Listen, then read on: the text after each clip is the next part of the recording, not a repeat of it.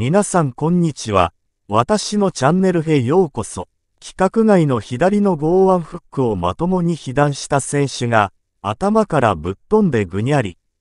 まるで、ストリートファイターのような豪快すぎる KO シーンにどよめきが起こった。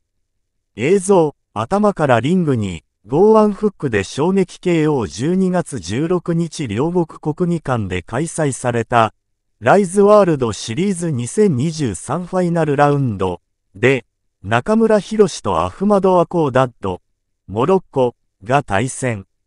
試合は2ラウンド、中村がアコーダッドから2度のダウンを奪い KO 勝ち。最後は狙いすました左フックを叩き込むと、相手はぐにゃりと前倒れし、そのまま単価で退場した。ライズライト級王者の中村が、2戦連続で海外勢と対戦。前回のアリシェル・カルメの不戦は試合中のローブローや肩脱臼など不運が重なってノーコンテスト。残念な結果に終わっていただけに、今回のアコーダット戦でしっかり勝って、気持ちよく2023年を終わらせたい。対するアコーダットは中村より20センチも身長が高い180センチ。長いリーチが魅力の選手だ。しかし、中村はその差を払拭すべくゴングと共に前に出て、ボディを合わせていく。徐々に中村の速いパンチに対応できなくなるアコーダット。中村は内サイの空いたガードに左フックやストレート、ローなど攻撃を散らして順調にラウンドを終える。2ラウンド、出足から鈍いアコーダットに左ハイ、ワンツーと中村が攻勢をかける。アコーダッドも膝や近距離でのパンチと盛り返そうとするが、中村が再び開いた顔面めがけて左をガツンと打ち抜き最初のダウンを奪う。実況の小出明も、交通事故のようにドーンと行きました、と叫ぶような出会い頭の絶妙な一発。しかし、このダウンは衝撃の結末の序章に過ぎなかった。なんとか復帰したアコーダッドは、コーナーに追い詰められボディへの膝などをもらってサンドバック状態。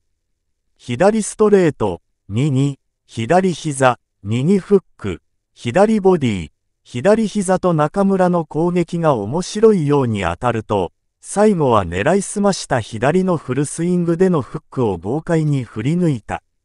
ノックアウトのシーンは壮絶。殴れた瞬間に頭が弾き飛ばされ、制御を失い前からぐにゃりと落ちる、まるで格闘ゲームの KO シーン。